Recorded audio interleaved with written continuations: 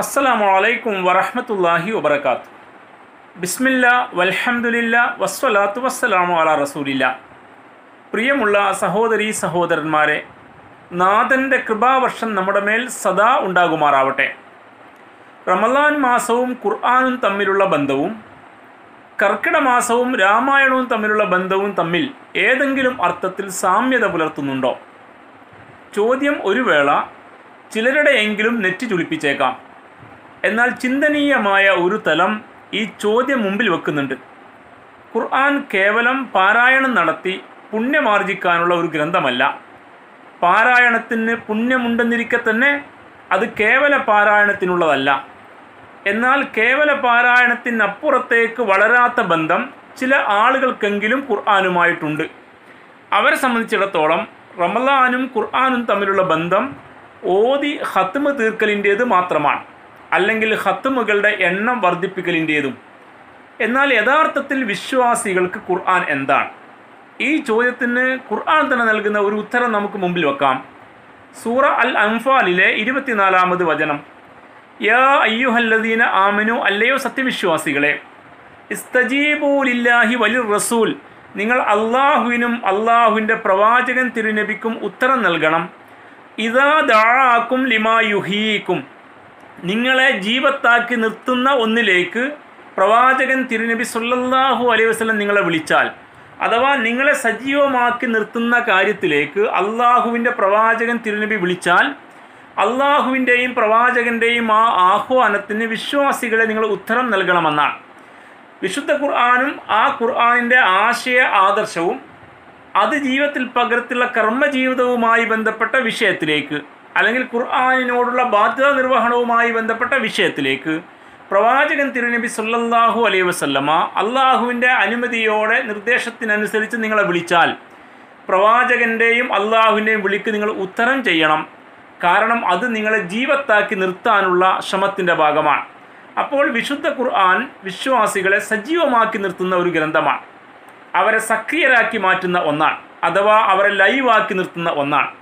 അതെ വേദഗ്രന്ഥം ഒരു അതിജീവന ശക്തിയാണ്. വിശ്വമസികളുടെ ജീവിതത്തിന്റെ ഊടും പാവും നിർണയിക്കുന്ന ഗ്രന്ഥമാണ് ഖുർആൻ.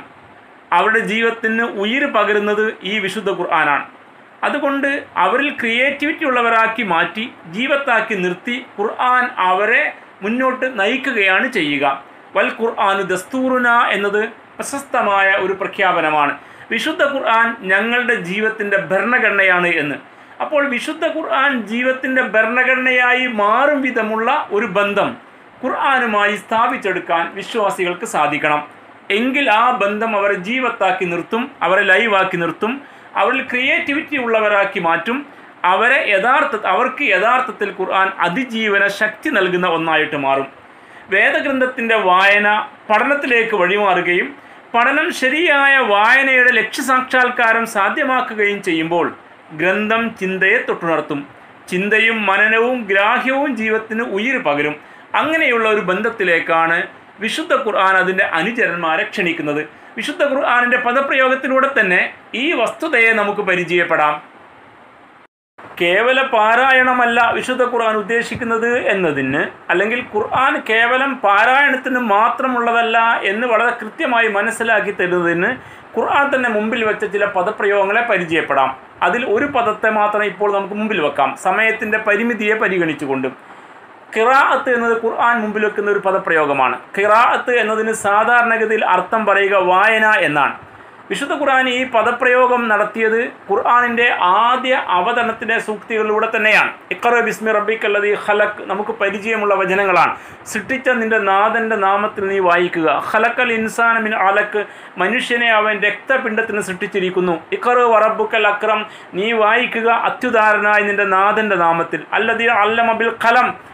അവൻ മനുഷ്യനെ പേന കൊണ്ട് എഴുതാൻ പഠിപ്പിച്ചു. അള്ളമൽ ഇൻസാന മാലം യാളം മനുഷ്യനെ അറിയാത്ത കാര്യങ്ങൾ അവൻ പഠിപ്പിച്ചു. ഈ വചനങ്ങളിൽ ഇക്ര എന്ന പദം രണ്ട് പ്രാവശ്യം ആവർത്തിച്ചിരിക്കുന്നു. വായിക്കുക. ഇക്ര നീ വായിക്കുക അള്ളാഹുവിന്റെ നാമത്തിൽ. ഇക്ര നീ വായിക്കുക അത്യുദാരനായ നാഥന്റെ നാമത്തിൽ. വായിക്കുക എന്ന ആഹ്വാനമുണ്ട്. ഒപ്പം ഇതിൽ രണ്ട് തവണ അല്ലമ എന്ന പഠിപ്പിച്ചു എന്ന പ്രയോഗവും പ്രയോഗിച്ചിരിക്കുന്നു. വായനയും പഠനവും എന്ന ആ ഏറ്റവും ശരിയായ ഒരു ഇക്വേഷൻ ശരിയായ ഒരു സമവാക്യം ഈ വചനങ്ങൾ ഉൾച്ചേർന്ന് വരുന്നു. അല്ലമ ബിൽ കലം പേന കൊണ്ട് പഠിപ്പിച്ചു എന്ന്. അള്ളാഹു മനുഷ്യനെ പേന കൊണ്ട് എഴുതാൻ പഠിപ്പിച്ചു എന്ന്.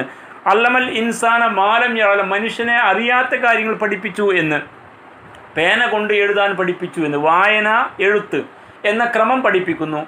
വായിക്കുക പഠിക്കുക എന്ന ക്രമം പഠിപ്പിക്കുന്നു. അതിനപ്പുറത്ത് വായനയിലൂടെ പഠനത്തിലൂടെ വിശാലമായ അറിവിന്റെ മേഖലയിലേക്ക് വളരാനുള്ള ആഹ്വാനവും നൽകുന്നു.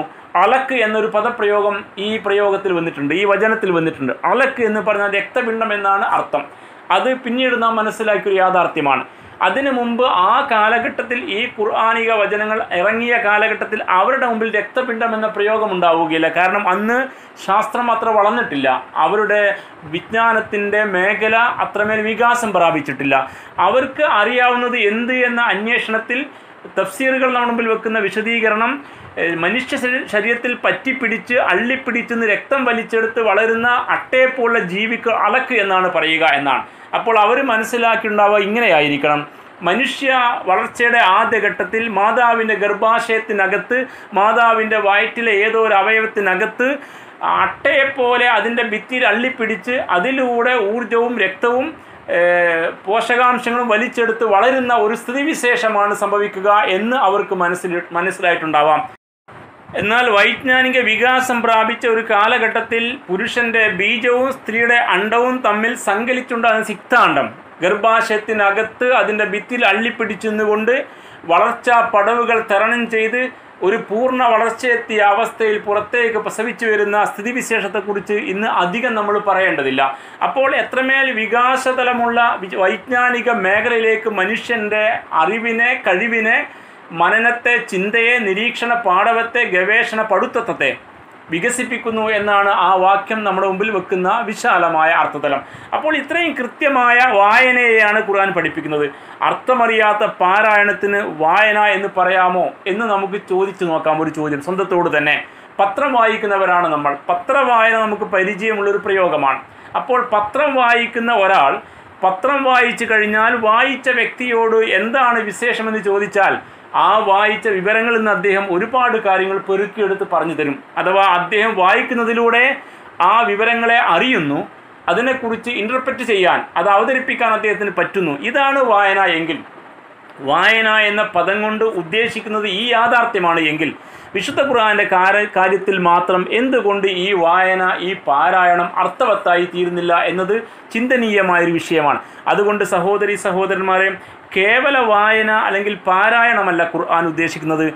മറിച്ച് ആശയം അറിഞ്ഞുകൊണ്ട് ആ ആശയലോകത്തെ സ്വന്തത്തിലേക്ക് ക്രമപ്രവൃത്തമായി ഏറ്റെടുക്കാൻ കഴിയും വിധമുള്ള സ്വാംശീകരിക്കാൻ കഴിയും വിധമുള്ള ഒരു സുന്ദരമായ വായനയെയാണ് കിറാത്ത് എന്ന പദപ്രയോഗത്തിലൂടെ വിശുദ്ധ ഖുർആൻ മുമ്പിൽ വെക്കുന്നത്. അതുകൊണ്ട് ആശയം അറിഞ്ഞുള്ള പാരായണമാണ് കിറാത്ത്.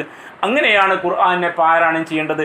ആ പാരായണത്തിലൂടെ അറിവിന്റെ ചക്രവാളത്തിലേക്കും ആ അറിവിലൂടെ ഉറച്ച വിശ്വാസത്തിലേക്കും ആ വിശ്വാസത്തിലൂടെ വിശുദ്ധ ഖുർആൻ ജീവത്താക്കി നിർത്തിയ ഒരു മനുഷ്യനായി മാറുന്ന ഖുർആാനിന്റെ ആശയത്തിന് കർമ്മപത്തിൽ ജീവിതം നൽകുന്ന ജീവൻ നൽകുന്ന വ്യക്തിയായി മാറുന്ന വളർച്ചയും വികാസവുമാണ് ഇസ്ലാം ഉദ്ദേശിക്കുന്നത്. ഇതാണ് വിശുദ്ധ ഖുർആൻ അവതരിച്ച് കിട്ടിയ ഈ മാസത്തിൽ ഖുർആാനിനോട് നമുക്ക് ചെയ്യാനുള്ള ഏറ്റവും വലിയ നീതിയായ പ്രവർത്തനം എന്ന് വിനയപുരസ്സരം മനസ്സിലാക്കുക. വിശുദ്ധ ഖുർആൻ ഈ അർത്ഥത്തിൽ വായനയും പഠനവും മനനവും ചിന്തയുമൊക്കെ ഉൾക്കൊള്ളുന്ന ഒരുപാട് പദപ്രയോഗങ്ങളിലൂടെ യാഥാർത്ഥ്യങ്ങളെ മനസ്സിലാക്കി തരുന്നുണ്ട്. ഇൻഷാല്ല അടുത്ത എപ്പിസോഡിൽ നമുക്കത് പരിചയപ്പെടാം. അള്ളാഹു നമ്മെ എല്ലാവരെയും അനുഗ്രഹിക്കുമാറാവട്ടെ.